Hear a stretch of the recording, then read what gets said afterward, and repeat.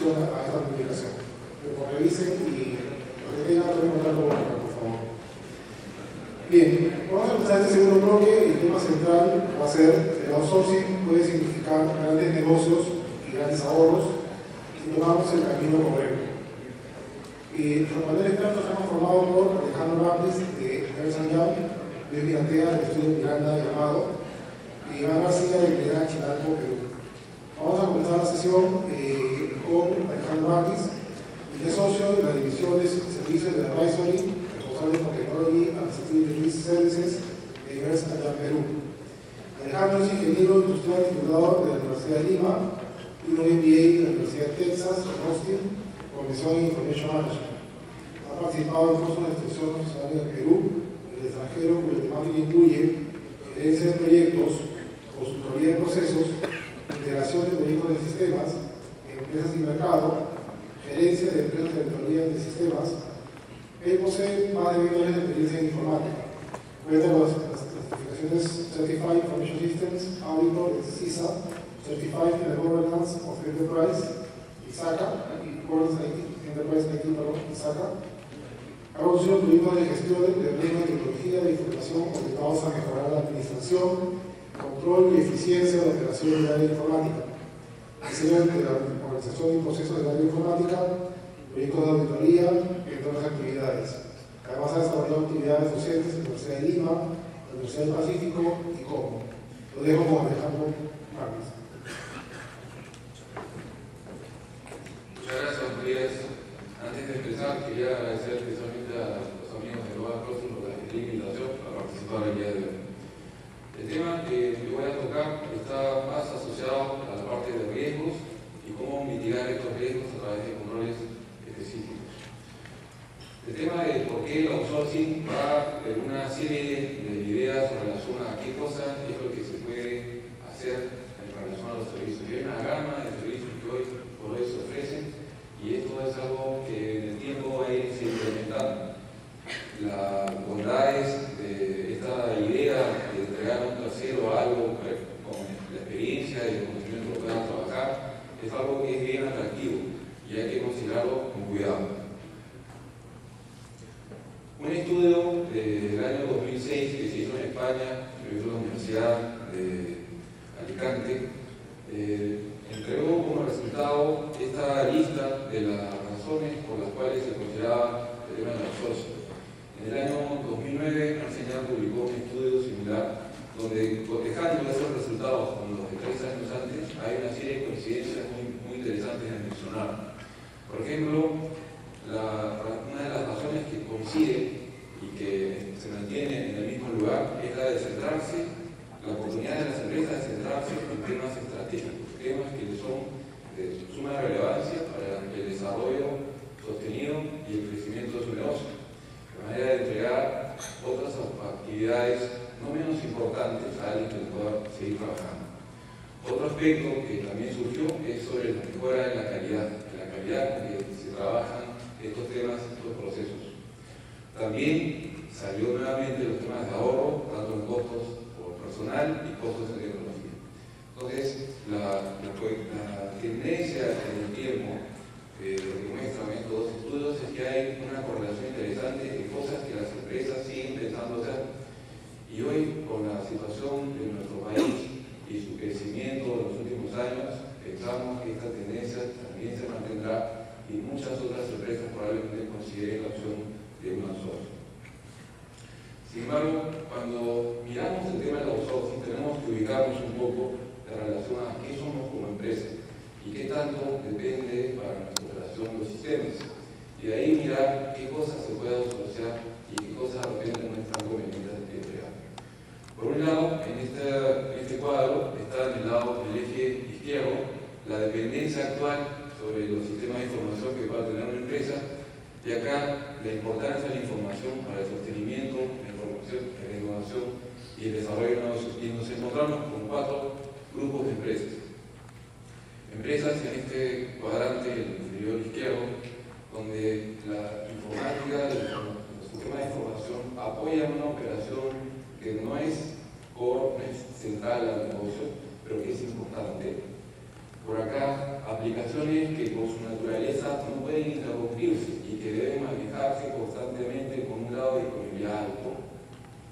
Por este lado, empresas que si bien no es alta la dependencia en relación a su operación, sí, sí es importante para la innovación y los temas que desarrollo del tiempo van a realizar. Entonces, mirando en estos tres grupos, nos podemos ubicar con algunos ejemplos. Sin embargo, acá tenemos en el cuadrante superior derecho las empresas que los temas de sus su, sistemas de información, todos sus, sistemas montados, son vitales para su negocio. Entonces, en estos cuadros hay algunas descripciones y algunas presunciones en relación al outsourcing. Y podríamos pensar que las empresas que están en este recuadro podrían considerar la opción de outsourcing, las que están aquí también. Esta, la presunción inicial sería que no, sin embargo hay algunas razones con las cuales pudieran considerar por un periodo de tiempo de manera permanente. Lo mismo en este cuadro de acá. Entonces, lo importante en relación a la consideración del outsourcing es ubicarnos en el contexto de qué tan importantes son los sistemas de información para la operación de nuestro negocio y y qué tan vinculados están con el mismo core. Si pensamos en entidades que están totalmente vinculadas a la informática con su operación, podemos pensar en los bancos. Sin embargo, algunos bancos, no en nuestro país, pero en otros, han considerado la opción de outsourcing. Si pensamos en sistemas de alta disponibilidad, podemos pensar, por ejemplo, en la bolsa de valores, que también durante el, periodo que está desarrollando tema de las transacciones, necesita de todos modos estos sistemas disponibles. Por el lado de acá, las compañías que tienen un trabajo de productos de consumo masivo, donde los temas de innovación y de marketing son muy importantes para lanzar nuevos productos o trabajar de alguna manera innovadora. Y por acá, empresas que, si bien no deja de ser importante la informática, no están por el negocio y pudiera manejarse de alguna u otra forma un tema similar.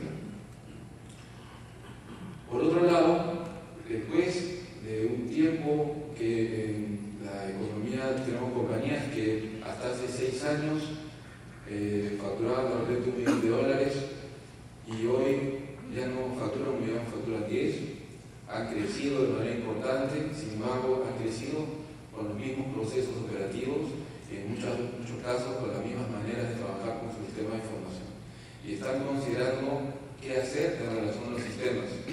Nuevamente, del análisis anterior, toca mirar ahora poco las capacidades. En verdad, estamos sin capacidad de asumir todo este cambio de manera autónoma, tenemos todas esas competencias, o en verdad deberíamos considerar el apoyo de un tercero podríamos comprar el conocimiento contratando personas que nos puedan ayudar, de repente capacitando a nuestra propia gente, pero probablemente eso tome una curva de aprendizaje que de alguna manera tenemos que seguir, pero para los aspectos de negocio, de sostenimiento y crecimiento, probablemente esa ventana de tiempo sea muy amplia. Entonces hay decisiones importantes en relación a las capacidades con que la compañía cuenta. Vamos ahora a hablar un poco sobre los riesgos. Se mencionó en las presentaciones anteriores que hay una importante, eh, un importante análisis que hacer en relación a qué es lo que el servicio de outsourcing va a proporcionar y cómo impacta a la compañía. Y en verdad se amerita un análisis muy serio en relación a los riesgos, en relación a las dependencias operativas que hay entre lo que se va a entregar y lo que todavía va a quedar en casa a nivel de trabajo operativo no solamente por la tecnología, sino por los propios procesos. Tenemos que mirar hasta qué punto hay una independencia total en el proveedor y hasta qué punto hay una dependencia entre para que él haga algo, la compañía tiene que hacer algo antes. Entonces, ese análisis de riesgo eh, que va por un lado la selección del proveedor de servicio, por otro lado los temas internos de la compañía, nos permite determinar un, un entendimiento interno de los riesgos que vamos a enfrentar y luego a través de un análisis en la forma como estos riesgos se puedan mitigar, buscar las maneras en que ya sea con operatorias internas y algunas cosas que la empresa que provee el servicio eh, implemente puedan mitigarse y tener una transición del servicio sin problema y que logre su objetivo principal. Estos son algunos ejemplos de riesgos que pueden ocurrir en temas de outsourcing y algunos indicios que sugieren el resultado no deseado que aquí se indican. Siempre hay que estar atento a todo el contexto en el cual las cosas pasan, porque a través del análisis de algunos indicios podemos encontrar algunas causas de origen que identificadas oportunamente nos ayudan a corregir. Por ejemplo, cuando tenemos aspectos vinculados a costos no esperados,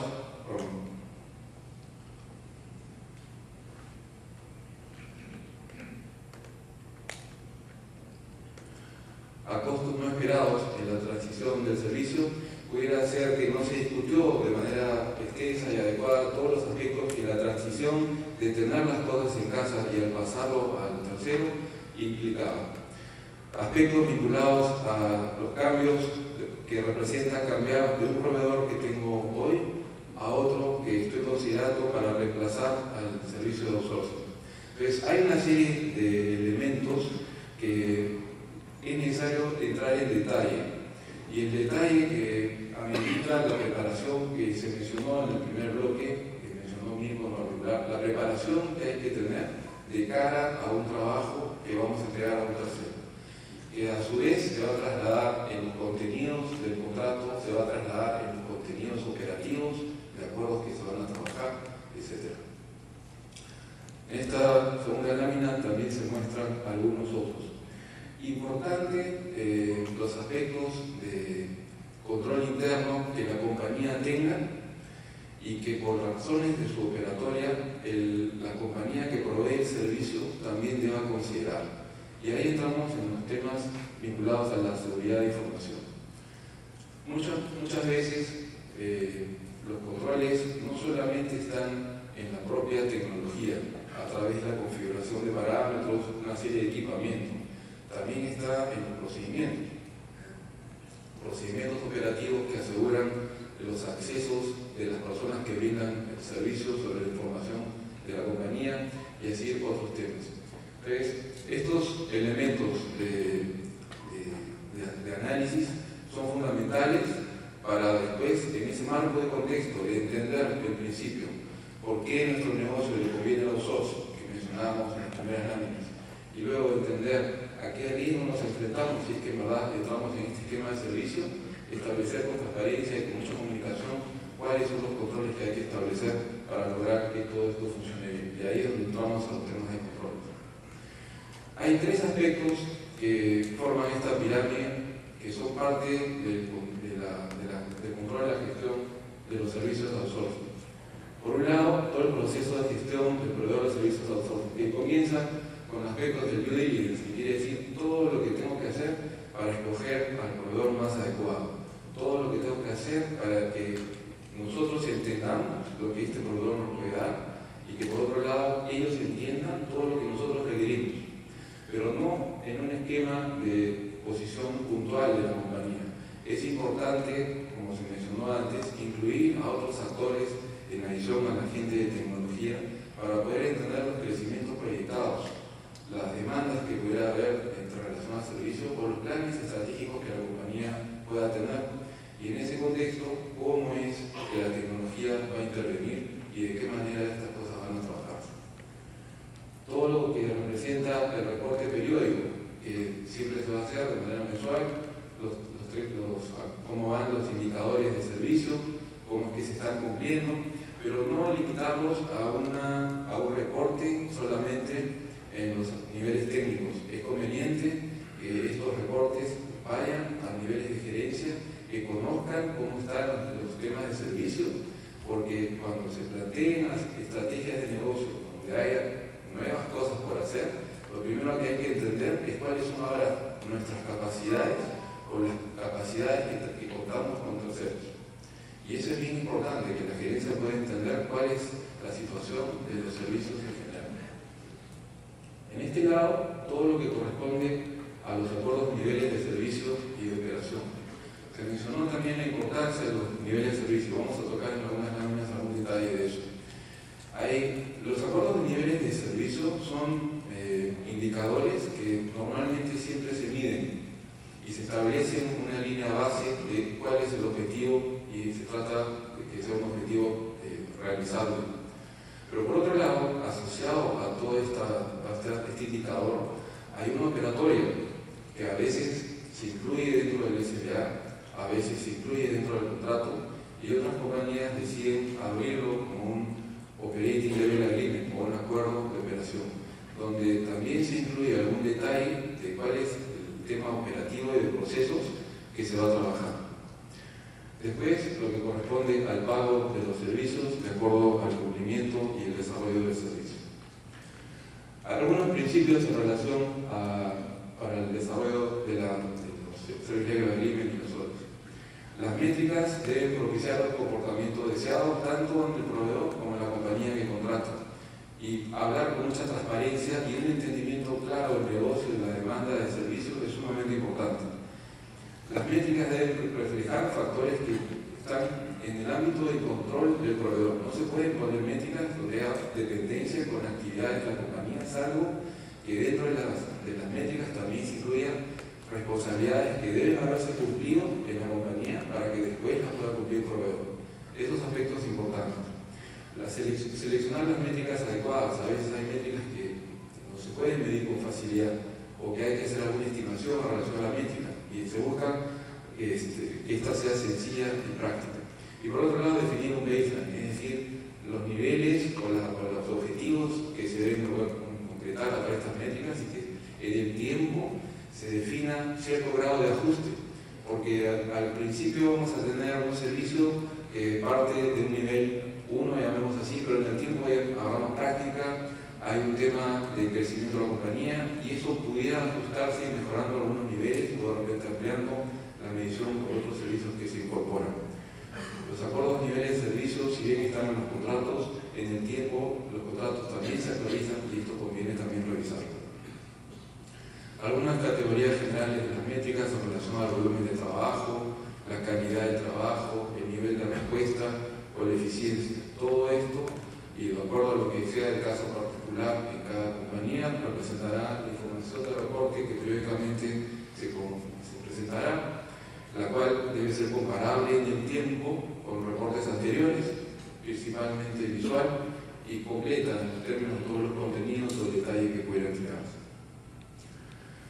Yendo a los temas del contrato, eh, los contratos de, outsourcing eh, necesitan también pensarse de manera adecuada para que sea un facilitador más que una camisa de fuerza, algo que permita que el negocio se vaya desarrollando y que el servicio vaya mejorando y no algo que empiece a limitar o, sea una situación de, discusión.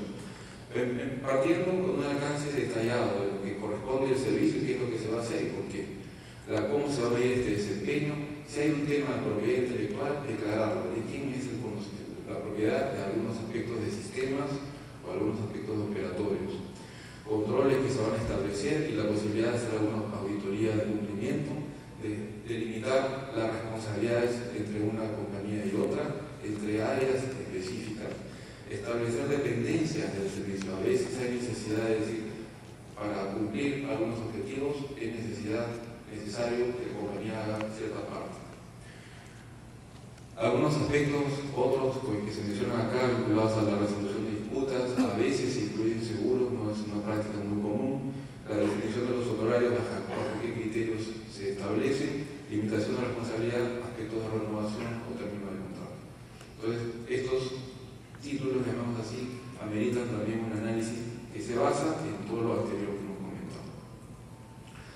La auditoría de servicio parte sobre aspectos de cumplimiento y, la, mitigación de los riesgos a través de los controles. Es decir, algunos que facilitan la, labor del proveedor de servicio eh, con alguna certificación que permita demostrar que efectivamente cumple con los controles o mecanismos internos que tuvieran donde puedan mostrar algún grado de revisión sobre los controles que son pertinentes a los servicios que realizan con los clientes. Algunos elementos de cumplimiento que están aquí se pueden mencionar. Algunos eh, aspectos de regulación también, en el sector financiero, la Superintendencia de Banca y Seguros ya ha incluido algunos aspectos de certificación para la certificación por la tercerización perdón, de trabajo que algún banco, financiera, compañía de seguros, todo AFP, le entrega a un tercero. Y ahí está exigiéndose esa 70 en particular, que vamos a tocarlo en un momento. Hay un modelo general de administración que parte del concepto, el planeamiento, la transición y el monitoreo. Y acá hay una serie de componentes importantísimos que hay que considerar, porque como se mencionó también, el trabajo de una outsourcing establece un contrato bastante largo en el tiempo, hablamos de 3, 5, 10 años, y tenemos que hacerlo bien de la misma manera como escogemos las amistades, escogemos la pareja. Eh, es un trabajo que demanda una atención y un entendimiento muy importante. Finalmente, la, el tema de esas 70 de acá se mencionan las fases que, que comprenden, pero quiero en esto no entrar en ese detalle, sino dejar el mensaje de la conveniencia de que la empresa que provee el servicio tuviera una certificación ISA 70 u otra equivalente interna que pueda tener, donde haya una revisión de los aspectos de control pertinentes al control de la información, que incluye algunos aspectos de seguridad también. Muy bien, muchas gracias.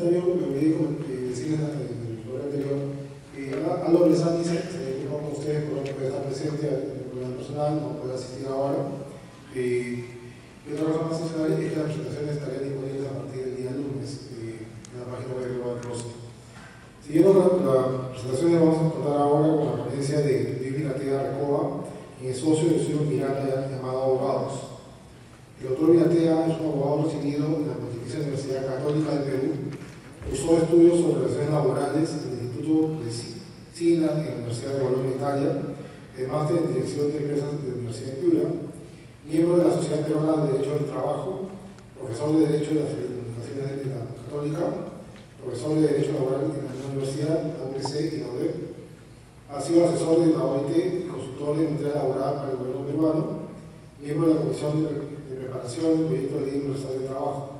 Es especialista en Derecho Laboral, Procesal Laboral, Previsional, Telecomunicaciones, Administrativo, Servicios Públicos y Reestructuración Patrimonial.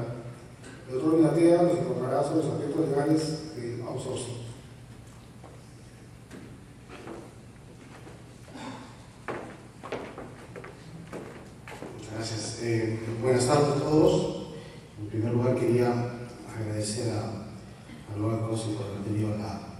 gentileza de invitarme una vez más a participar de este, este evento. Yo eh, tengo previsto eh, comentar con ustedes algunos aspectos relevantes en materia de, de outsourcing desde una perspectiva legal y quisiera eh, vincularla con los acuerdos de nivel de servicio porque me parece que estos tienen el atractivo de poder evidenciar un concepto que a mí me parece verdaderamente relevante y que muchas veces se pierde de vista justamente cuando se habla del outsourcing, y este es el de la autonomía. Ahora lo vamos a ver. Como primera cuestión, eh, en términos más o menos sintéticos, lo que se tiene que retener es que el outsourcing o la tercerización, como la conoce nuestra legislación, es un proceso mediante el cual una empresa o organización externaliza una actividad o una etapa de un proceso productivo, entregándose a un tercero con el propósito de que este tercero la, ejecute. Eh, esta concepción o esta definición tiene una buena noticia, ¿no? y es que en es posible externalizar actividades, es posible tercerizarlas y es posible finalmente alcanzar alguna idea de flexibilidad en los procesos productivos o de organización de las empresas. La mala noticia es que esa actividad lamentablemente está tremendamente regulado. Y lo está por una razón muy concreta. Los procesos de tercerización suelen ser, por no por mi experiencia y porque y créanme que he visto muchos, suelen estar muy mal implementados. Y suelen estar muy mal implementados porque cuando muchas empresas quieren tercerizar, finalmente no tercerizan. Es decir, no externalizan de manera integral un proceso productivo y mi idea es este, un poquito reflexionar sobre eso para ver de qué manera se pueden levantar los problemas que periódicamente se pueden comprobar en el mercado. Yo creo que para hablar de tercerización hay que tener claros tres conceptos básicos. El primero, ¿cuál es el servicio que se va a tercerizar? Si no se tiene clara conciencia de cuál es ese servicio, difícilmente vamos a poder darle un marco legal o una concepción operativa o de negocios correcta. El segundo, preguntarse a quién se va a entregar ese proceso. La empresa, la entidad que va a asumir ese proceso de tercerización, ¿está realmente capacitada para hacerlo? Y tercero, ¿cómo se va a controlar este servicio? Y esta tercera cuestión es bien relevante, porque las dos primeras preguntas suelen estar bien contestadas. Bueno, yo decido tercerizar sistemas y se lo voy a entregar a la empresa tal. Perfecto, ese problema está solucionado.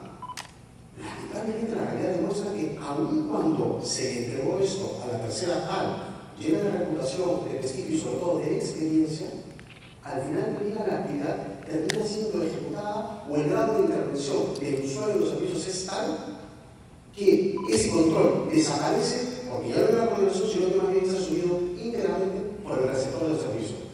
Con lo cual el concepto de tercerización desaparece y se incurre en la contingencia. Y este es precisamente uno de los aspectos más relevantes porque hoy por hoy cuando se comprueba o se hace el test de realidad de cualquier outsourcing, yo les diría que el 85% de las tercerizaciones se caen justamente por placer. Es decir, la vehemencia del cliente por seguir haciendo bien las cosas es que termina desnaturalizando el servicio. Lo que quiere decir, además, que desde el punto de vista económico, normalmente esa tercerización tiene muy bajo costo. Yo quisiera invitarlos justamente a reflexionar sobre estos aspectos porque la idea de relacionarlo con el acuerdo de nivel de servicio justamente pone en evidencia que quien ofrece un acuerdo de nivel de servicio y se compromete a él, asume ciertos riesgos que van a poner en evidencia justamente que él mantiene autonomía y va a asumir esa tercerización variante. Revisemos estos tres conceptos que están en este cuadro para confirmar las ideas que he venido adelantando. Este concepto de servicio integral tiene que ver con la idea de que al tercero se le transfiera una etapa integral del ciclo productivo de la empresa, una perfectamente determinada y que sea susceptible de ser. Hay ciertas actividades que lamentablemente no son tercerizables. Y más allá de razones de orden estratégico o de orden empresarial que pueda tener una organización tercerizada, lo concreto es que es indispensable seleccionar adecuadamente qué etapa va a ser. Y esto implica que el tercero sea capaz de asumir un riesgo al comprometerse a manejar esta etapa. Y eso tiene que ver, lo vamos a ver con los acuerdos de nivel de servicio. Lo segundo, quien va a asumir esta tercerización debe contar con los elementos suficientes para. Estamos hablando aquí de contar con recursos económicos, financieros, técnicos, materiales, que van a poner en evidencia que es capaz de asumir ese servicio y que van a tener relación directa con los costos que se van a cobrar. Normalmente, cuando esto ocurre, se pone o se hace patente la existencia del servicio y por lo que se cobra justamente eso, por el servicio.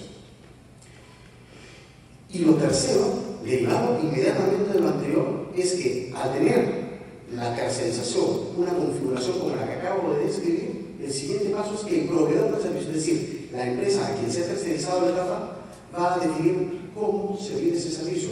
Y la razón es obvia. Si esa empresa se ha comprometido a un nivel de servicio, el primer interesado en que ese nivel de servicio se cumpla es justamente la empresa. No tiene ninguna lógica que ese nivel de servicio sea esperado por la empresa a quien se ofrece y sea esa quien lo esté gestionando. No, porque las responsabilidades económicas incluidas en nada de esto van a ser justamente de la empresa tercerizada. Por lo tanto, los tres conceptos tienen que estar presentes y esto, dicho sea el caso, es un elemento que debe ser calificado en primer lugar por la empresa que contrata el outsourcing y también, y con el mismo grado de importancia, por la empresa que lo ofrece. Soy de los que piensan hoy día que el grado de regulación de las actividades de servicio en nuestro país es tal que aquellas que son capaces de actuar autónomamente en el mercado tienen una ventaja comparativa en el mercado. Es decir, hoy por hoy es un verdadero error relacionar con una empresa que no sea capaz de actuar autónomamente.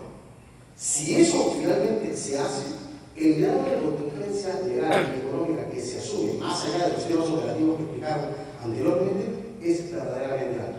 Y créanme, pasa factura. Ciertamente, las ventajas del outsourcing son obvias, ya fueron descritas incluso de manera muy amplia en la presentación anterior, ¿no? Pero yo resaltaría tres, básicamente, ¿no? Que permiten la focalización de la empresa usuaria en sus actividades principales, en segundo lugar, permite acceder a servicios especializados de alto valor, dicho de paso, esto es un, requisito legal este, ineludible, y en tercer lugar, permite reducir costos y obtener más eficiencias. Por otro lado, tenemos al servicio de agreement, o nivel de servicio, que implica un compromiso que es asumido por un proveedor para brindar un servicio con un determinado nivel. ¿Qué cosa implica que este proveedor asuma ese nivel de servicio. Supone capacidad para asumir riesgos. Eso es la clave económica y política de todo. Quien es capaz de asumir riesgos no solamente es capaz de firmar un contrato donde dice voy a cumplir un nivel de servicio que implicará que haga tantas visitas, que haya un escalamiento de tal o cual naturaleza, que si no cumplo tú me vas a sancionar, que si, este, si esa sanción no eh, genera un, digamos, un proceso de mejora, tendré que pagar una realidad. Todas esas circulaciones van a ser muchos contratos. De hecho, no tienen idea de la cantidad de circulaciones que están contenidas en muchos de los contratos que se incumplen. La pregunta que uno se tiene que hacer frente a eso es, muy bien, ¿y si se incumple? La empresa que me está prestando el servicio está incapaz incapacidad de asumir las consecuencias derivadas de eso. Esa pregunta, nuevamente, que va a ser una experiencia, obviamente basada en el análisis puramente empírico, me lleva a asumir que en el 85% de los casos las empresas que se comprometen a eso no están en capacidad de asumir lo que dicen cómo asumir. Y ese es un test que uno se tiene que hacer cada vez que hace una tercerización y se plantea un proceso de esta naturaleza. Es muy fácil decir, bueno, pues efectivamente, me van a dar a mí 17 visitas para verificar que el efecto de servicio tiene el estándar que, que ha comprometido. Eh, sí, sí, no bueno, este es un dato clave que obviamente puede ser asumido primero por quien tiene los recursos suficientes para hacerlo desde el punto de vista económico y quien tiene además, y por quien tiene además los recursos técnicos y de conocimiento para poder asumirlos. Entonces estamos hablando de capacidades, tanto en lo material como en lo cognitivo, que son lo que finalmente pueden mostrar la fortaleza o idoneidad de una empresa para asumir un compromiso de esta naturaleza. Pero creo que más allá de esos aspectos que son fruto del análisis interno, creo que el Service Level Agreement lo que también permite, o más o menos este, lo lleva a establecer que es un dato característico, es que normalmente el Service Level Agreement puede eh, mostrar o evidenciar una capacidad superior del prestador de servicio respecto al usuario. Claro, se puede o debería poder comprometerse a algo superior justamente porque está especializado y tiene un expertise ya desarrollado en la materia. Y hoy por hoy, considerando digamos, el impacto de las regulaciones que van más bien por el lado laboral, creo yo que puede ser un factor de diferenciación entre las empresas proveedoras. No se imaginan ustedes la cantidad de situaciones en las cuales los empleadores menosprecian este tipo de, las empresas contratantes menosprecian este tipo de relación, pero son verdaderamente relevantes, porque cuando una empresa es capaz de decir yo puedo ofrecer este servicio porque son verdaderamente autónoma, marca una verdadera diferencia y puede justificar justamente el proceso de contratación.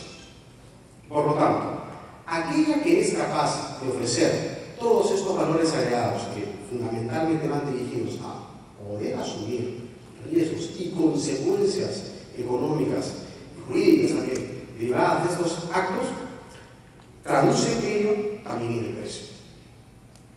Las tercerizaciones o el outsourcing normalmente están enfocados hacia una especialización y la especialización tiene un precio y ese precio debería ser reconocido en el mercado y quien lo contrata debería tenerlo en cuenta.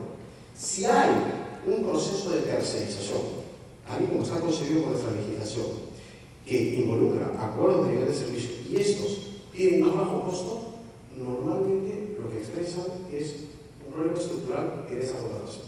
Y créanme, siempre tengo opiniones. Por lo tanto, la relación que existe entre un SLA y un outsourcing es una relación que yo he calificado de implicante. Es decir, una empresa que es capaz de ofrecer un nivel de servicio por encima del estándar, normalmente por encima del estándar, es una empresa normalmente autónoma, es decir, una empresa que tiene vida propia, una empresa que es capaz de hacer las cosas y asumir riesgos y consecuencias. Ese tipo de empresa es aquella con la que conviene realmente tercerizar. Por lo tanto, el segundo concepto que quería dejarles es que los Service Level Agreements son de verdad rasgos de autonomía. Son elementos que permiten demostrar que la empresa tiene esas características que la hacen cumplir las regulaciones que hoy día son muy intensas. ¿Por qué? Porque pueden asumir riesgos y evidencian esa capacidad a la cual me estaba refiriendo. Por lo tanto, quien se compromete a un nivel de servicio, lo que le ofrece en realidad a sus clientes es un grado alto de indemnidad. ¿A qué cosa me refiero con esto? A que no van a tener consecuencias que van más allá de las previsibles que han sido calculadas entre las dos partes que están contratando. Y cuando me refiero a indemnidad, me estoy refiriendo a un concepto verdaderamente amplio. no estamos hablando simplemente si hay una consecuencia económica de esto, no lo vas a asumir. Cuando me refiero a indemnidad, estoy aludiendo a un concepto en el cual la empresa va a quedar razonablemente liberada de consecuencias económicas, jurídicas y también de carácter laboral. Recuerden ustedes que muchas de las tercerizaciones o procesos de outsourcing involucran también desplazamiento de personas. Y cuando los hay, normalmente el grado o la intensidad de la supervisión o la intensidad de la regulación es mucho más alta justamente en esos casos. El antídoto para eso, ¿cuál es? La autonomía. ¿Y de qué manera tenemos para comprobarlo? Un chequeo, digamos, exhaustivo de los acuerdos de nivel de servicio. Si la empresa es capaz de comprometerse y demuestra que puede responder, no van a haber no deberían haber muchos problemas en el proceso de contratación. Por lo tanto, ¿qué se debe buscar en un outsourcing ya desde una perspectiva regulatoria, desde una perspectiva legal? En primer lugar, una posibilidad real de externalización de actividades. Es decir, hacer viable un proceso de flexibilización en el manejo de la organización que le brinde algún tipo de beneficios económicos, operativos o estratégicos a la empresa. En segundo lugar, se debe buscar esa tercerización o encargársela a una empresa que tenga las capacidades de asumirla. Es decir, una empresa que se dedique justamente a esa tercerización y que tenga todos los elementos que ya hemos descrito anteriormente. Y lo tercero, que esa empresa a quien se le ha entregado a quien se le ha la externalización de esta actividad sea capaz de hacerlo ella misma, sin injerencias y sin intervención de la empresa usuaria, lo que obviamente no quiere decir que no haya un nivel de coordinación, que es cierto que tiene que existir, pero una cosa es coordinar y una muy distinta, intervenir. Todo esto, por supuesto, con el mejor nivel de servicio. Muchas gracias.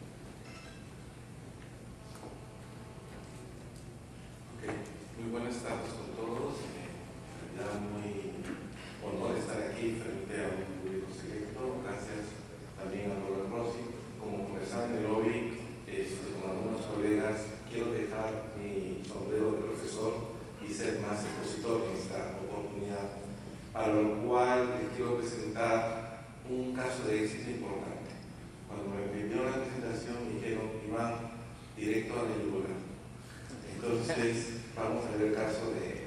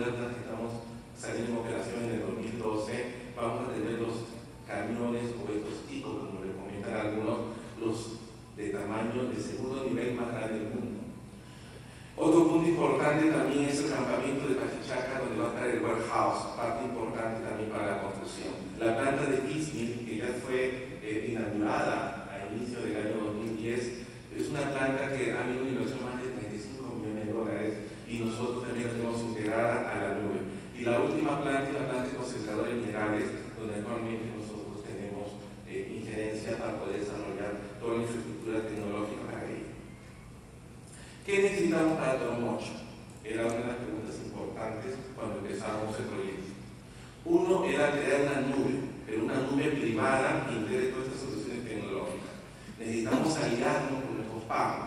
Parte importante de esta alianza era lograr tener un proveedor de comunicación que soporte la operación de Toromocho.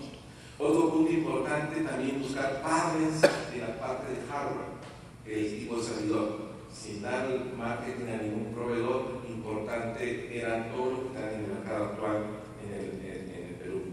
También proveedores de servicios de Internet, además que nos daban la parte de comunicaciones, también nos daban la parte de servicios de Internet. Y finalmente los proveedores de software. Importante era que nuestro core, nuestra parte de la gestión administrativa, financiera, logística de la operación, sea alineada al corporativo. Chinalco en Medellín tenía SAP en 42 empresas, lo cual las 43 empresas, como era Chinalco Perú, también tenía que estar alineada al corporativo con la implementación de SAP. A pesar que nosotros somos las 43 empresas del ranch de Chinalco, soportamos el 25% de los revenues de total Chinalco a nivel mundo. ¿Cómo preparamos el TAP? Lo primero era desarrollar la arquitectura empresarial. Esta arquitectura era desarrollar la, infraestructura técnica para las oficinas de Lima, para las oficinas de campamento, integrar peer-to-peer desde Lima hasta Beijing, lograr integración también hasta Santiago porque teníamos la empresa eh, que hacía la ingeniería de detalle para Chinalco en Santiago y también la empresa que hacía la ingeniería básica desde Tucson. Otro punto importante de esta nube debemos compartir servicios. Servicios no solamente la carretera, también otros tipos de servicios que puedan soportar a las empresas integradas con nosotros. Compartir servicios, información, procesos, integración y gobierno. Y todo esto bajo una demanda, una demanda sobre servicios y base de datos y aplicaciones y plataformas on demand. ¿Quién puede ayudarnos con todo ello? Ya anteriormente a mí excelentes expositores han comentado sobre prácticas, metodologías, técnicas y todo ello que necesitamos para poder armar la nube. Era correcto, necesitamos tener todas estas técnicas y marcos importantes. Sin ello no podíamos hacer la nube privada para China. ¿Cuál fue nuestra metodología? Parte importante fue definir los factores críticos de esto. Ustedes saben que para cualquier implementación viene la conceptualización, el análisis y diseño, pero antes de ello tenemos que definir los factores críticos de éxito. Uno, la arquitectura, que ya la hemos comentado. Dos, era el análisis de requerimiento de nuestros usuarios. Establecer nuestras metas y objetivos límites hasta donde nosotros podíamos hacer o abarcar. Punto importante, ¿qué recursos necesitábamos? Importante la planificación y control, buenos gerentes de proyectos. Había que integrar y manejar una buena organización China. Definir la organización con qué recursos. Importante, la gestión de cambio. Ustedes saben que la gestión de cambio no es sencilla. Y mucho más si vamos a integrar un modelo de nube a este nivel, donde los usuarios serán dueños de su laptop y sus PCs. Ahora los usuarios solamente tienen un ambiente virtualizado. Manejamos elementos de DDIs, manejamos elementos de C-Clients. Punto importante, la metodología aprobada, cómo le va a ser, padres nos ayudaron, nos apoyaron en ello. El tema también de los mapas de procesos, los puntos claves donde nosotros íbamos a llegar con nuestra nube. Otro punto era el tema de las evaluaciones y las validaciones, parte de lo que es los conceptos de migración liberación de servicios, y Otro punto, el sponsor. El gran apoyo del sponsor es sumamente importante. Cuando empezamos el proyecto, tenía un jefe americano, una persona que tenía mucha experiencia en minería, actualmente ya se fue a Estados Unidos a un regreso. Y él nos apoyó en todo este proceso de crear infraestructura técnica. También mi presidente ejecutivo que venía de la gran minera. El otro es el plan de comunicación. El plan de comunicación es importante. Es un punto importante que se basa en el elemento de cómo debemos llegar con todos estos requerimientos a nuestros usuarios. Y esto está estipulado dentro del IIAB, del International Institute Business Analysis, que algunos puede ser también miembros. Creando la nube, creamos la infraestructura y creamos la arquitectura de aplicaciones. Punto importante, sabemos algo de cloud, no quiero definir cloud, pero sí darle algún de conceptos. Empresa tradicional. ¿Qué es la empresa tradicional? Un conjunto de software donde estas integran o se realizan este, links a través de interfaces. Pero todo ello también lo podemos llevar a un nivel de cloud. Y tiene que ser un cloud, es una evolución o una convergencia de muchas tendencias tecnológicas. Y con ellas, finalmente, aparentes e independientes. Para ello utilizamos la comoditización, usar commodities en lo que es infraestructura. El tema de Internet, virtualización, grid computing, SOA, eh, data centers dinámicos. Un punto importante en esta implementación fue crear data centers dinámicos. Data centers que nos permitan flexibilidad y escalabilidad, que es parte importante para crear la nube. Y después otros elementos importantes del cloud, que nosotros ya lo han tocado los expositores anteriores. Entonces, estos software que se integran en estas, en estas empresas o unidades de negocios, todos están basados bajo el concepto de servicio dentro de una nube. Por otro punto, no sabemos nada de cloud. Este es un gran elefante que todavía hay que seguir investigando y saber si en realidad la empresa lo puede o no lo puede usar. ¿Cuándo una empresa debería buscarse un cloud? Pregunta importante. Y esto quizás responda a ciertas cuestiones o preguntas que se hicieron en, la primera fase. Uno, importante cuando los procesos de habitación y los datos son independientes. Si nosotros tenemos muchos datos integrados y esto genera confusión dentro de los amplios procesos, un momento empieza a realizar tu pensamiento hacia cloud. Punto dos, cuando los puntos de integración están bien definidos, importante dónde nosotros vamos a unir las nubes las aplicaciones y los sites remotos dentro de la migración. Punto 3. Cuando el menor nivel de seguridad funciona bien. No queremos alta seguridad. No queremos gastar N firewalls. Importante manejar una seguridad buena, donde nosotros despleguemos el cloud dentro de estos software que manejan datos independientes. Cuatro, cuando la arquitectura de la base interna de la empresa es saludable. Importante las inversiones también. Hay inversiones pero mucho de una empresa que recién inicia, entonces había presupuesto para armar el cloud. Quinto, cuando la web es una plataforma deseada, todos queremos usar los recursos de web, no queremos ya nada bajo cliente servidor. Es más delgado, menos pesado, solamente más a la RAF de la fotografía, de la información, entonces es donde nosotros decimos queremos un cloud. Seis, cuando la reducción de los costos es importante y un tema común en toda la organización. La reducción es un costo importante, ya lo ha comentado Carmen, pero también es importante darle la prioridad. Si queremos ir a cloud, debemos invertir también. Debemos invertir también. Y siete, cuando la arquitectura y la infraestructura de las aplicaciones todas son nuevas, para que los muchos recién nacían y podíamos irnos a hacer cloud. Algo hay que ir despacio, importante, porque también va a haber preguntas posteriores donde serían, ¿y qué sucede cuando ya una empresa está en operación? Importante entonces, no todos los recursos computacionales pueden a cloud. Hay que sentarse y hacer el análisis correspondiente. Otro punto importante, hay que desarrollar un business case. Sin el business case nosotros no podemos presentarle al negocio la aprobación de irnos a este tipo de tecnología. Implementación. ¿Cómo hicimos la implementación? Lo primero, tratamos de entender lo que es comunicación unificada. Elementos importantes de entender lo que es el modelo de integración de un negocio.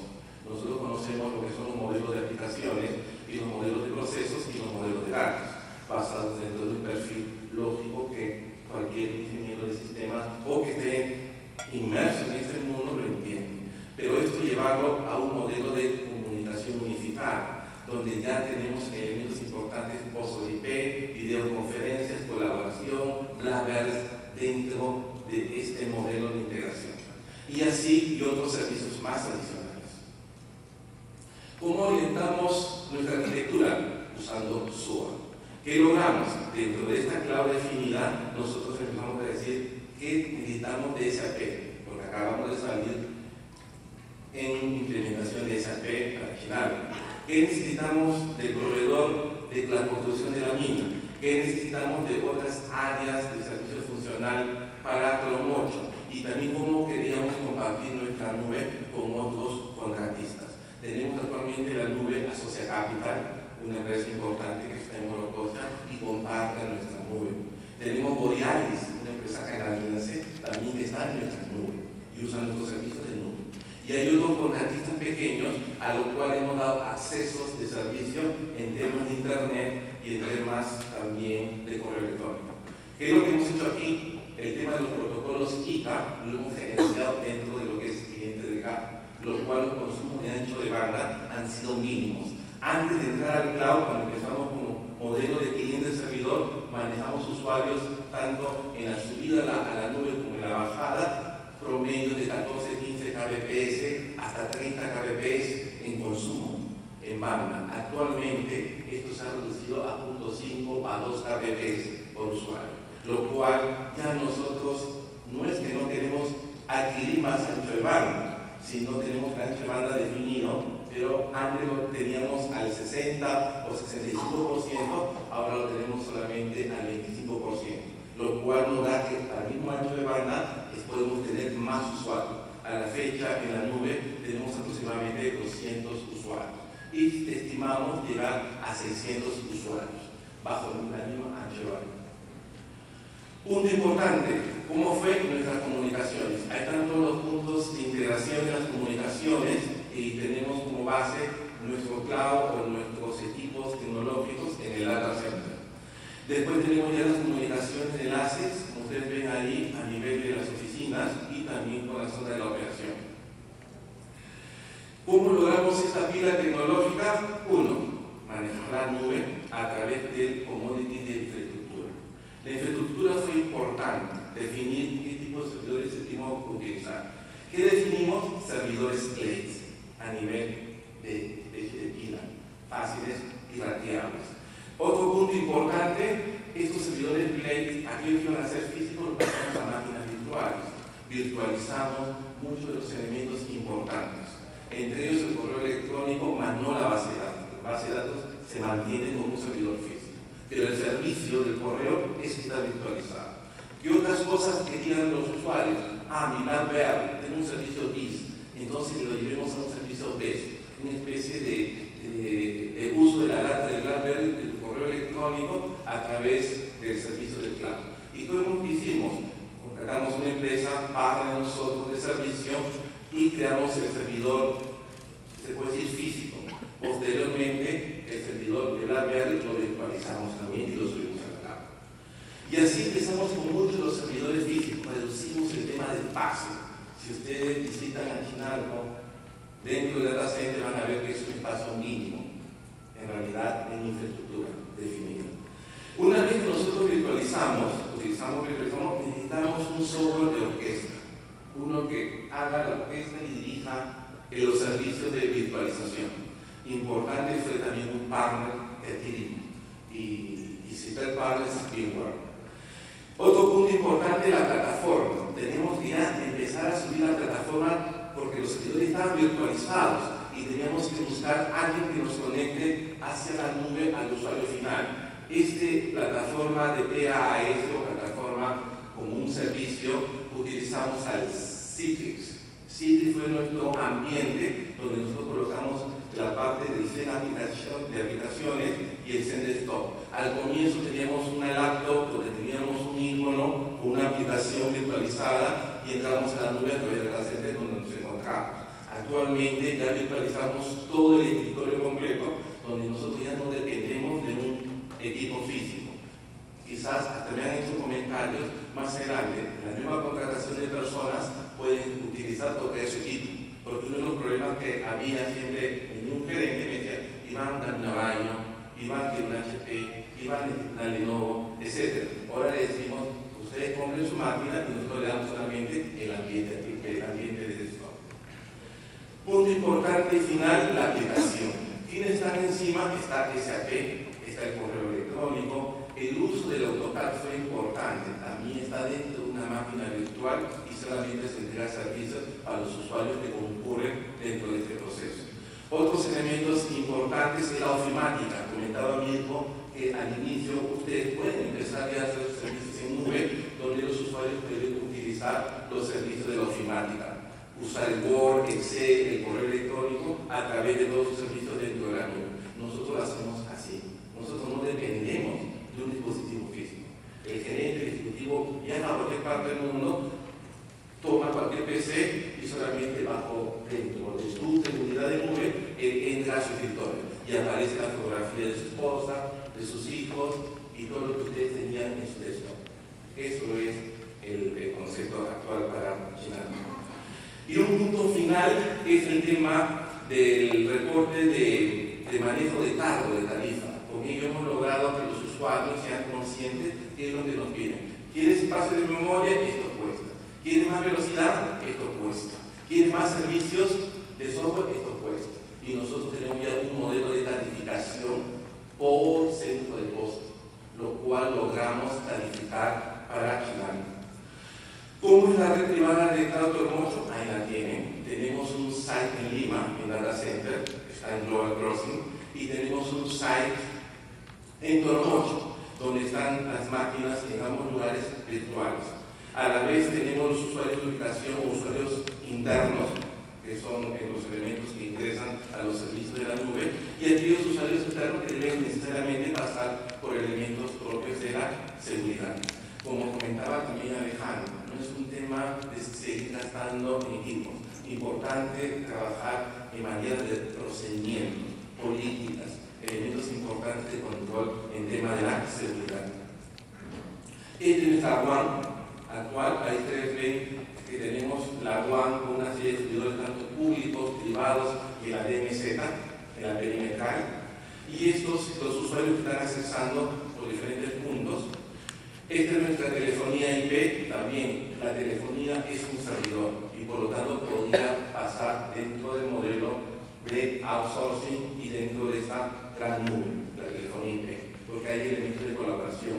Tenemos API Access, un elemento de colaboración dentro del modelo de uso de estos sistemas a nivel de nube. Y finalmente, la seguridad gerencial. Nosotros teníamos como, íbamos a a colocar nuestros equipamientos y también contratar servicios, porque este es un servicio.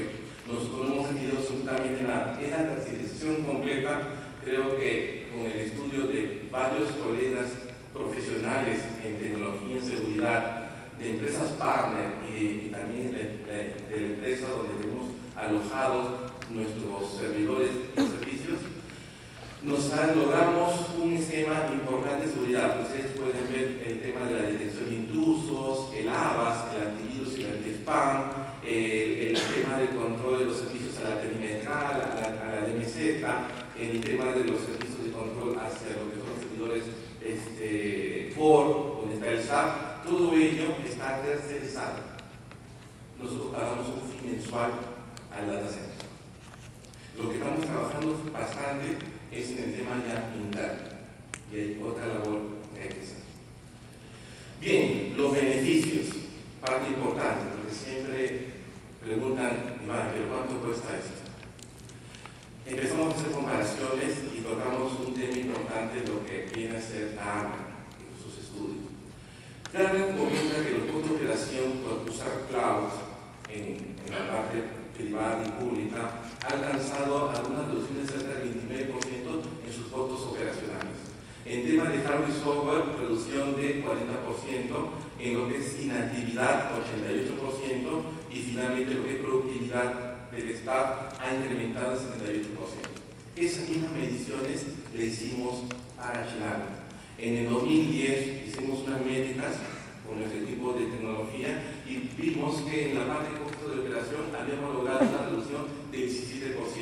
No alcanzamos los, los números de Gartner, pero sí habíamos logrado reducción en temas de soporte. Otro punto importante en lo que es costos de hardware y software, ahí sí logramos reducción. Nosotros ya no compramos servidores, utilizamos los servidores y hemos comprado, porque todo está virtualizado. Si nosotros habíamos comprado en la primera fase de 2008 8 servidores, estos incrementaron en 9 y en 10 en el 2009 y 2010. ¿Por qué? Porque los otros servidores ya habían pasado al modelo de virtualización. Si nosotros manteníamos el esquema tradicional, les aseguro que ustedes tuvieran un chinalco con 25, 30, 50 servidores. Acá no, todo está virtualizado. Otro punto importante, los tiempos de identidad. Una reducción importante. El usuario que tenía una laptop o una PC solamente podía ya usar los servicios a través de la nube. ¿Qué significaba esto? Cuando se elaboraba una PC a un, a un usuario, ¿qué sucedía? Que tenía un tiempo de inactividad de un día, 24 horas, 48 horas, hasta que soporte le coloque todos los programas nuevamente. Actual, en la actualidad, este, ellos tienen un dispositivo, un VDI, donde la máquina se quema y automáticamente sacas al gabinete otro VDI y conectas y estás otra vez en la nube. Tiempo, se puede decir inactividad, 10 a 15 minutos, no hay las 24 horas, porque todo está en servicio de la. Y la productividad sí alcanzó un gran incremento. El tema de SAP, el tema de los servicios de AutoCAD, todo ellos que el usuario necesite, se encuentra en una gran actividad y nosotros creemos que esto es lo que Chicago necesitaba para seguir creciendo. Para terminar, el tema de la reducción de costos es importante. Ahora sí manejamos un buen nivel de lo que es el TAPES y el OPES para Chinalco. La flexibilidad en realidad ha llegado a tener una ya simultánea infraestructura. Solamente usas lo que tú necesitas. Y si tener más capacidad, lo solicitamos. En el tema de velocidad de negocio y hay más rapidez y disponibilidad de los servicios. Punto importante es el outsourcing y el autodesempeño, porque ya solamente monitoreo activos y el pago nos ayuda y solamente pagamos lo que usamos. Yo quiero agradecerles por esta vez.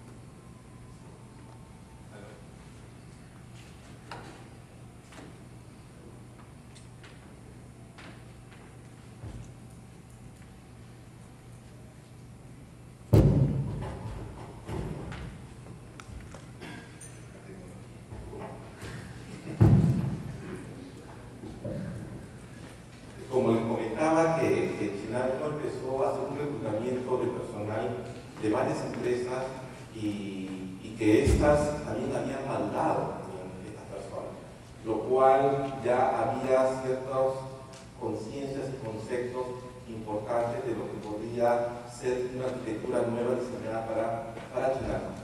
Como le puse, uno de los factores críticos de éxito fue el tema de la comunicación. Antes que nosotros armemos la arquitectura, convocamos a todos los usuarios, planteamos también nuestro nivel general de lo que íbamos a hacer para Chilano. Eso fue la estrategia importante, la comunicación en ambos sentidos, a nivel, a nivel ejecutivo y a nivel de los usuarios, lo que íbamos a tratar. Porque ellos íbamos a retirarles sus máquinas, sus PCs, sus laptops y debíamos utilizar ya servicios a través de, este negocio. Eso fue. ¿Alguna otra pregunta?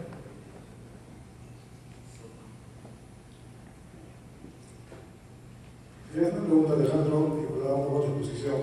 Tú habías comentado el tema del SA 70 y que en qué medida alguna regulación local ya incluye eh, eh, esta el SA 70 y en todo caso se cree que puede aplicar a todos los servicios del futuro.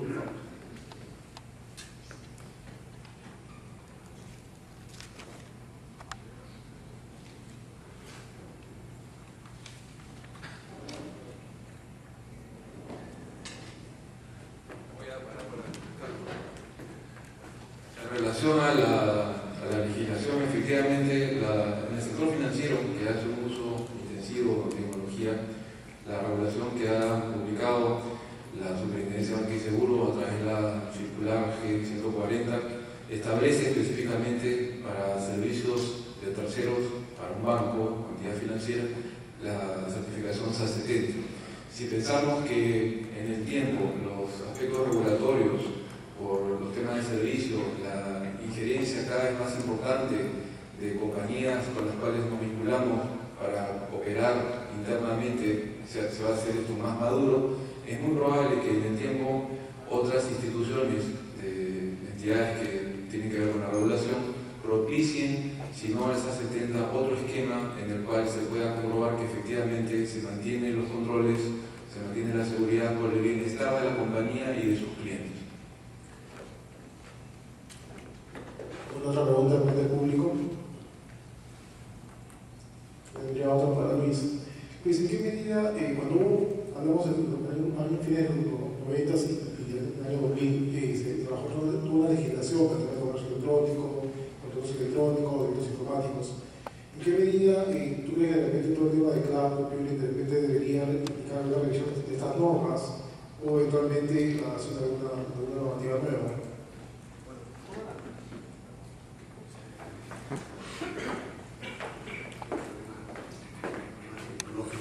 Toda la, toda la normativa que regula eh, servicios como los que acabas de mencionar, relacionados con Internet, la normativa sectorial de comunicaciones, eh, no es que esté en profundo proceso de revisión, lo que pasa es que necesita hacerlo ya. lamentablemente las regulaciones peruanas por el lado de telecomunicaciones y por el lado del comercio electrónico son o han tomado modelos referenciales que ya están totalmente obsoletos. Por el lado de telecomunicaciones hablamos de de la década de los 80 y principios de los 90 y por el lado del comercio electrónico de inicios de los 90 lo que implica que nosotros tengamos que acudir a ciertas instituciones básicas para solucionar problemas que son complejos y buscar que las soluciones jurisprudenciales terminen de modelar eh, la solución final. Lamentablemente nos encontramos con dos problemas que a mi juicio son relevantes. Uno, los jueces que tienen a interpretar estas situaciones no tienen conocimientos especializados en esta materia y los tribunales arbitrales que podrían constituirse al efecto son muy pocos, porque las controversias que se generan a propósito de esos temas son muchas veces de poco día y no meditan la constitución del tribunal arbitral. Por lo tanto, la solución para estos casos va a, tener que ser un poco intuitiva y mi recomendación es tratar de ser lo más exhaustivo y previsor posible en los contratos para evitar las contingencias. Voy a pregunta más por parte del público. Eh, cuando recuerdo que tienen sus encuestas para poder llegar al final y tratar de negociar con el sorteo que lo que almuerzo. Esa es una pregunta final de Iván me da pase a, a darle para la conclusión de, de, este foro. Y respecto un poco a la experiencia que hemos tenido en plantear a, a, a, los directivos de, de Chinalco Perú implementar, eh, por implementar eh, esta, esta privada. ¿Cuáles son los problemas principales que has enfrentado y que nuestro público también podría enfrentar? Bueno, este, algo importante para todos los colegas, los CIOs, los gerentes de áreas, yo creo que hay cuatro puntos que creo que son súper importantes y que muchos de ellos les hemos tocado dentro de las exposiciones. Alineamiento y objetivos. Parte importante de los alineamientos objetivos hacia el core del negocio. Entender tu negocio. Al entender tu negocio, tú vas a crear el marco importante donde tú vas a empezar a decir, vamos hacia la nube, vamos hacia este tipo de tecnología. Un segundo punto importante es la reducción de costos. Es importante, pero no es también un tema súper prioritario, porque recuerden, esto es inversión y hay que preparar los business. El tercer punto, la transparencia. La transparencia a través de la comunicación. Parte importante que ir desde el más alto nivel hasta el usuario final. Estos son los cambios que vamos a hacer y con esto vamos a mejorar los servicios de TI. Van creer en realidad que sí TI apoya el negocio. Y la última, céntrate, enfócate en tu cliente. Tu cliente final es la parte más importante, tu activo más importante al cual tú te tienes que dar el mejor. Son los cuatro. Bien, eh, solo recordando dos cosas. Primero, a partir del día de mañana van a estar colgadas en la web de todas las presentaciones. Y dos, si quieren ver el Mundial de Televisor, y de sus encuestas que pueden tener a la mujer de la salida. La continuación, de pase adelante más para cerrar la jornada.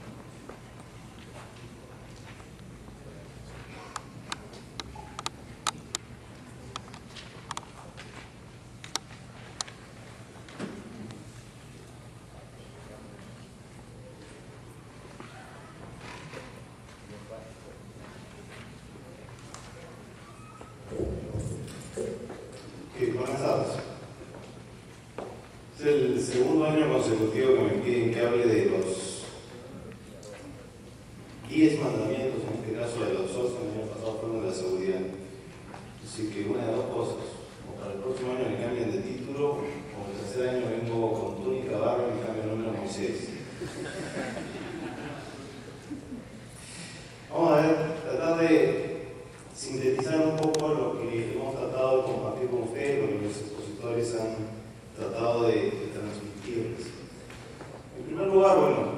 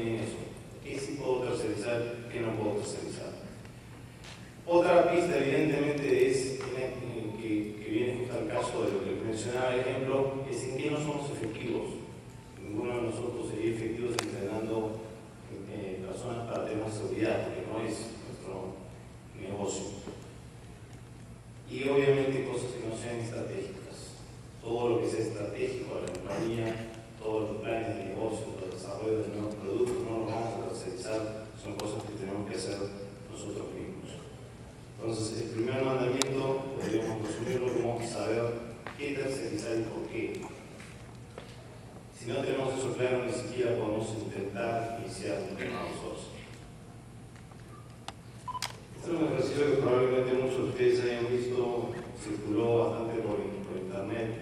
Es un tema psicológico en realidad, tiene que ver con una discordancia que ocurre en el cerebro cuando el cerebro trata de interpretar, trata de eso.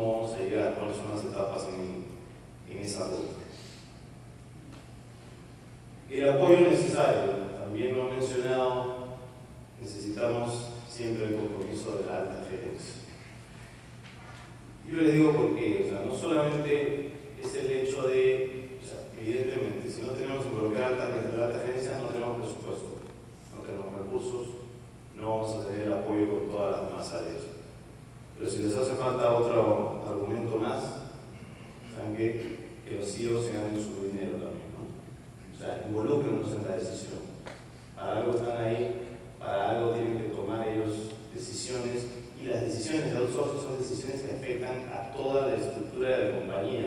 Por lo tanto, ustedes como CIOs, como gerentes de tecnología, tienen un rol importante, pero no tienen por qué asumir el 100% de esta responsabilidad solos. Para eso están la, alta dirección de la empresa que tiene que acompañarlos y compartir.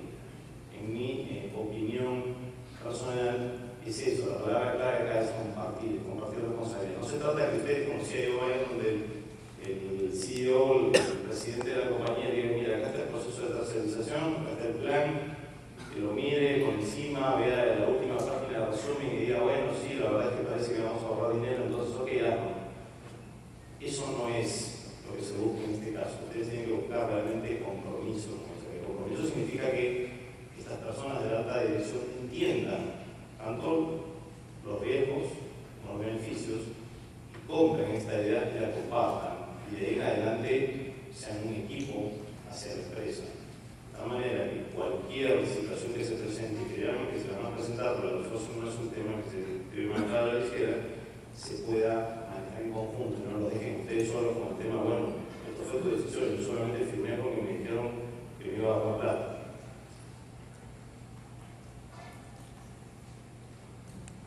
Hay que alinearse bien siempre con el concepto de outsourcing, es decir, que aquí esto es, se refiere, el outsourcing puede ser de cualquier cosa, podemos en teoría outsourcear cualquier cosa.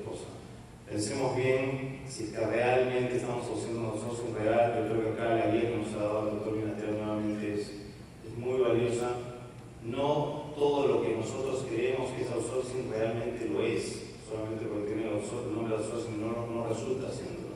Así que no nos alineamos al concepto de outsourcing y no podemos, no somos capaces de entregar la responsabilidad y no estar nosotros supervisando el día a día de lo que hemos entregado al outsourcing, entonces no hemos hecho un outsourcing. Simplemente hemos, no sé, movido los equipos que estaban en una ubicación física a otra, pero no hemos hecho un outsourcing real. Entonces el quinto mandamiento lo podríamos resumir como lograr el compromiso interno. Siempre formalicemos procesos y servicios. Hay que establecer las responsabilidades de cada parte. Y aquí, un poco la caricatura lo que pretende decir es que tampoco no es fácil no es un proceso sencillo, hay que entrar a muchísimo detalle. ¿okay? Aquí yo les dejo como, frase en todo caso, las zonas grises matan créanme, las zonas grises matan. Y hay muchas, y es muy fácil dejar una, una cantidad de zonas grises cuando se hacen temas de outsourcing. Se da por sentado tantas cosas, ambas partes asumen que el otro sabía y el otro entendía lo que yo le quise decir, no suman nada. Tómense el tiempo de establecer y de eliminar, limpiar esas zonas grises al máximo. Mientras más zonas grises tengan, el momento que se presente un problema, van a entrar en ese instante, en pleno problema en la discusión, de si era un asunto que lo debía ver la empresa o el proveedor del socio. Determinen las métricas siempre, todo tiene que ser medible. Si no podemos medir algo, realmente estamos haciendo algo mal. Tiene que haber una forma de medir la eficacia, la eficiencia de lo que estamos contratando como una empresa. Y siempre, como hemos dicho, nada de esto sirve si no está eh, alineado a los objetivos del negocio. Entonces, determinar un SLA es fundamental. Yo les lo pondría de la siguiente manera. Si, se, si dividimos en tres partes, tal vez, lo que puede ser el proceso de llevar a cabo la contratación de un outsourcing, va a haber una parte comercial, donde básicamente van a discutir precios, van a seleccionar, asumiendo que ya seleccionaron a un, un, operador, a un proveedor, va a haber una parte donde se van a poner a discutir centavos más, centavos menos, la parte netamente comercial. Va a haber una parte en donde se van a poner a discutir temas eh, contractuales o de, partes técnicas, que si el servidor le ponemos un poco más de memoria, que si le ponemos menos memoria, etc. Y va a haber una parte contractual que además tiene dentro de esa parte del contrato, hay una parte muy importante que es el tema del SDA. Si pudiéramos asignarle valores porcentuales, yo les diría 10, 10, 80, es decir, ese 10% de discutir el precio, 10% de la parte técnica y 80% en el SDA y en la parte contractual. Que ahí es donde realmente está lo importante, que ambas empresas se pongan de acuerdo y entiendan ambas hasta dónde llega cada uno, como decía el doctor ¿qué pasa si no se cumple algo? si alguien les ofrece un SLA de 100% de disponibilidad, duden estamos creciendo cualquier cosa. No, nadie, ninguna empresa en el mercado puede asumir una seriedad de 100%. Y como decía el doctor Libertad, si alguien les una seriedad muy buena, una cantidad de dinero muy, muy baja, realmente también sospechen, ¿no? Revisen bien. Porque es muy fácil tal vez asumir en un papel una seriedad si es que empresa no está honesta eh, y fehacientemente asumiendo los riesgos que implica el no cumplimiento de ese